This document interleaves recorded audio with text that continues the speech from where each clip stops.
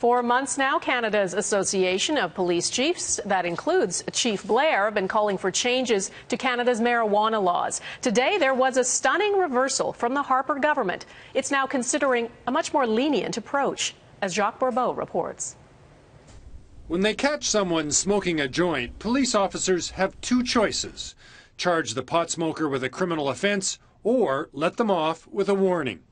Now, Canada's Justice Minister says he's looking at a third option. We would look at uh, options that would give police the ability, much like the treatment of open liquor, uh, that would allow the police to ticket those type of offenses. MacKay stresses he's not talking about decriminalization or legalization.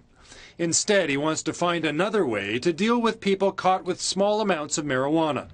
As a former prosecutor, MacKay says it often didn't make sense to use the hammer of a criminal charge. There were certainly charges laid uh, where small amounts of marijuana were involved, which I thought could have been expedited by way of a fine. Uh, fine option.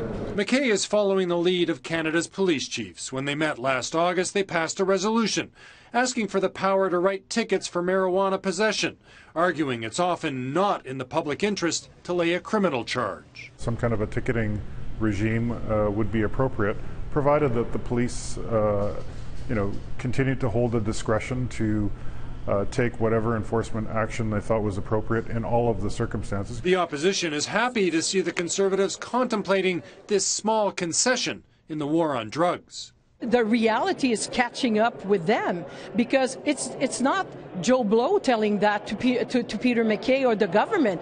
It's the, the Association of Chief of Police. MacKay won't say when these changes might be made or what constitutes a small amount of marijuana. But if this happens, it will be welcome by both police officers and marijuana smokers. Jacques Bourbeau, Global News, Ottawa.